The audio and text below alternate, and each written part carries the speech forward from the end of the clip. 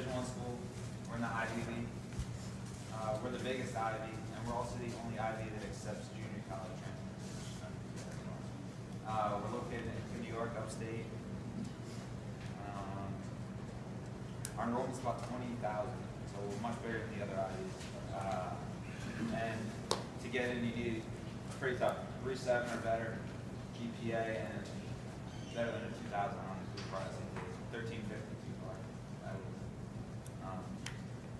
on